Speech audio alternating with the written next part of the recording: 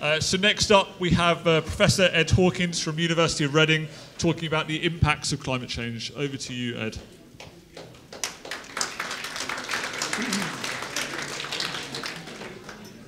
Morning, everyone. So first of all, thank you very much for all being part of this amazing process. We, um, we, we, appreciate your, your, your, giving up a lot of time to be here. So as, as Joe has just described, we've understood the basics of the greenhouse effect for a very long time. The basic physics and chemistry of our atmosphere means that if we add more greenhouse gases to the atmosphere, it will warm up. And of this we're certain. So we understand the theory. If we add greenhouse gases to the atmosphere, it will warm up. And that is what our thermometers also tell us. So as Joe described, we have thermometer measurements covering the planet. We can reconstruct our global temperatures back to about 1850. And so those measurements show that if we start in 1850, so one stripe represents one year, the blue colours represent cold years, the red stripes represent hot years. So starting in 1850, we see mainly cold years, and as we go forward through time, up to the present day, the stripes get redder and darker, showing that the planet is warming up. And that rise has accelerated in the last 40 or 50 years or so. We are changing the climate. Now, we've warmed the planet by about 1, 1.1 degrees so far.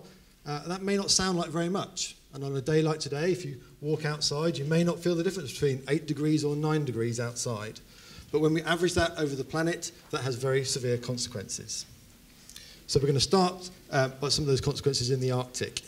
But first of all, I should note that what we're seeing here, this warming of our climate, is happening everywhere. It's happening in every country. It's happening over the oceans as well. So we have satellite measurements over the Arctic. We've looked down on the North Pole since about 1979 from satellite. And over that time, we've watched the sea ice. And over that time, we've watched the sea ice slowly decline over time. It wobbles around from year to year. Um, but over time, over the last 40 years, we've lost about 40% of the sea ice cover in the summer over the Arctic. And of course, that one degree rise in global temperatures is actually about two degrees in the Arctic. And that means that there's more opportunity for ice to melt. And so that's what we're seeing. We're seeing the consequences of our warming planet on the sea ice. And this is also the natural world telling us that something is happening. The natural world is responding. It's telling us the same story as our thermometers. We're seeing the changing seasons as the natural world responds. We're seeing wildlife respond to the warming planet, and we're seeing the ice respond as well. We are warming the planet. And as well as the sea ice retreating and getting thinner, we're also seeing melting of Greenland, for example. And so Greenland is losing water at a rate of three Olympic sized swimming pools every single second. That's a loss of water entering the ocean and causing sea levels to rise. And we'll come back to sea level in a moment.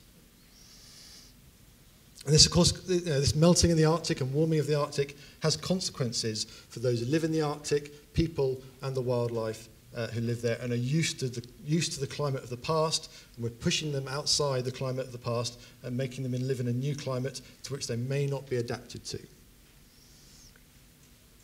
There are other consequences as well. I'm sure you won't have uh, missed the bushfires in Australia uh, over the last couple of months. And this photograph was taken by a firefighter having to think about how to deal with this inferno um, in, in, front of him. Of course, the, the reasons for the bushfires in Australia are they're many and they're complex. And at the heart of it is actually some unusual weather conditions, which has led to some very hot weather uh, and some very dry conditions. You can see the grass in the photo is very dry. Many of these areas have been in drought for the last three years, which has meant that the area is very dry and very flammable, coupled with the unusual weather conditions has meant that fires have been likely. So the fires would have happened without climate change. But climate change has made it worse. Because we've warmed the climate, we've warmed the temperatures in Australia, this event was hotter than it would otherwise have been, which has meant the fires are worse than they would have been without climate change. It's also possible, uh, likely in fact, that we've affected the weather patterns around Australia and dried out some of the parts uh, of Australia where these bushfires are happening. When we warm the planet, we shift the atmosphere's circulation, and so storms go in slightly different directions than they would otherwise have done. And so, over the last 40 or 50 years, parts of Australia which have experienced these bushfires have shown quite a strong drying, uh, drying out as well. So, there's many different ways in which climate change can affect these events that would have happened anyway, but we are making these events worse than they would otherwise have been. How about closer to home? So uh, as Joe described, we have thermometer measurements um, uh, all over the world, and we have some very long records, for example, from Oxford. So in Oxford, we have uh, temperature measurements. So someone has measured the temperature every single day in Oxford at the same place uh, since 1814, every single day. And so we can look back over those 200 years and see how temperatures have changed in Oxford. And again, the same stripes we see um, going from 1814 on the left to 2019 on the right. The blue years are the cold years, red years are hot years.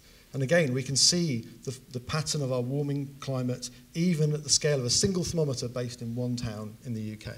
Climate change is here and now.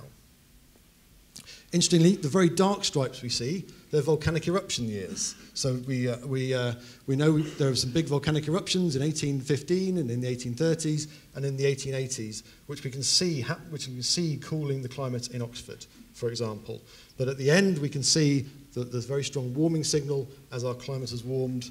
Uh, we're seeing the temperature rise everywhere across the UK and in every country around the world. So what does that mean for us in the UK? So if we think about the recent heat waves that we've had in 2018 and 2019, we had some very hot weather as well.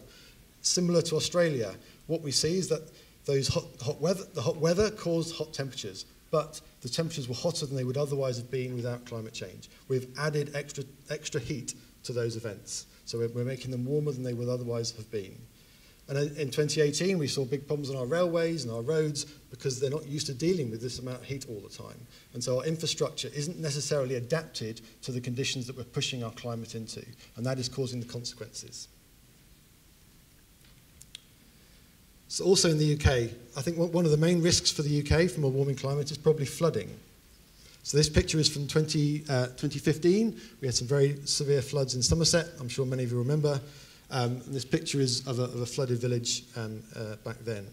Uh, and climate, again, this event has many and varied complex reasons for occurring. Um, but ultimately, it comes down to how much rain fell from the sky.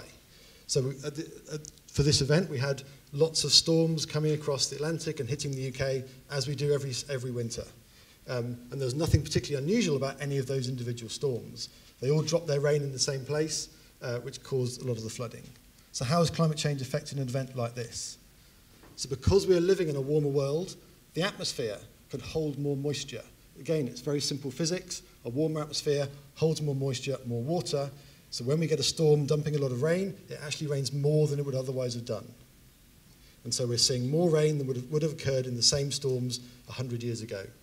So the, the, we're getting more rain, potentially leading to more flooding at events like this. So that is how climate change is affecting uh, uh, us as people and our ecosystems, it's by making extreme weather events worse, the impacts of those events worse. And so the world faces very different risks depending on where you live. There are a whole load of risks that you might think about, the consequences of our warming world. Um, I've discussed some of them already. Um, so we are likely to, well, we will experience and are experiencing more heat waves, um, we'll also see more floods, as I've described um, already. Um, I've discussed sea level rise. The, the, sea levels around the globe have already risen by about 25 centimetres or so, uh, and they will continue to rise for centuries um, uh, as, as the planet continues to warm, mainly due to uh, melting of ice from, say, Greenland and Antarctica, but also uh, the fact that as the oceans are warming, uh, seawater expands as it gets warmer and so takes up more space in the ocean, causing sea levels to rise. And so those are the main two reasons why sea levels are rising, which means also that when we get storms, say hurricanes or typhoons or storms hitting the UK, it means that when those storms hit the coast, sea level is higher, so the water that's coming from the storm surge, as those waves break over the coast, the water is already higher, and so we get more flooding on the coasts as well. And many of these risks are from the fact that we're changing our climate, we're shifting our climate out of what we're used to experiencing. So um, ecosystems and wildlife are used to, adapted to living in a particular climate. And so if we're pushing the climate outside what they're used to experiencing, that's going to cause consequences. They'll want to move to another location perhaps, but there may be nowhere to move to, and so that will cause consequences for them. Um, our infrastructure here in the UK and anywhere is adapted to the weather and the climate that we're used to experiencing uh, in the past. We need to think about how we adapt our infrastructure for the future to make it capable of dealing with future hot temperatures and more flooding. we're also seeing um, uh, the fact that as we're adding more carbon dioxide to the atmosphere, some of that carbon dioxide is being absorbed by the ocean and actually turns into carbonic acid in the ocean. And so we're actually seeing the oceans getting slightly more acidic through time as well. And that has consequences on wildlife living in the ocean, corals uh, and other species as well. And so the corals, for example, in Australia, you may have seen, have been struggling recently, partly due to this ocean acidification, but also due to the fact that we're getting very hot temperatures, uh, uh, and the corals are not used to experiencing those hot temperatures, and so bleach and die. And so large parts of the Great Barrier Reef have had some very large problems in the last couple of years as temperatures have hit record highs. So those are the ones that we're very confident about. And there are other impacts that we're maybe slightly less confident about. So um, we might imagine that climate change adds to increased risks in certain areas. So uh, if, if a, um, many of these impacts are happening in vulnerable countries, and so if you are changing the climate, you may be making farming particularly difficult uh, in a particular area, uh, leading to potentially people moving away because they can't grow the crops that they're used to experiencing. So migration is one thing that we, we think about. We're, climate change is what we call a risk multiplier. It adds to the risk that already happens due to the weather conditions. Uh, we're seeing glaciers being, being melting across the world, um, uh, which means that many regions which are used to living off the meltwater from glaciers will no longer have a water supply, for example, once the glaciers have gone. Um, there are many and numerous different ways in which climate change is affecting how people will live uh, and the risks that they face. And in the UK, we'll have to think about our infrastructure. Um, uh, and potentially we'll see different diseases coming to the UK. And these are all things that we, we worry about, we're less certain about, but they're potential risks that we, we will face. Uh, and as, as Joe said, I think the UK, you know, we, we built the Industrial Revolution. You know, James Watt invented the efficient steam engine in the 1780s, which kick-started the Industrial Revolution, which has been a great thing for science and technology and medicine and how we live our lives. But now we're seeing the side effects of that development. And these are all the risks that we face now because of that development that we've experienced. And I think the UK has a great opportunity to be part of the next revolution uh, to try and tackle these risks uh, and, and reduce risks all across the world. Thank you.